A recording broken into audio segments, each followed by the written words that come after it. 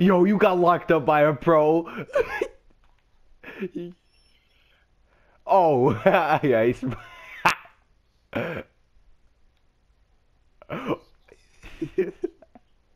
he got violated.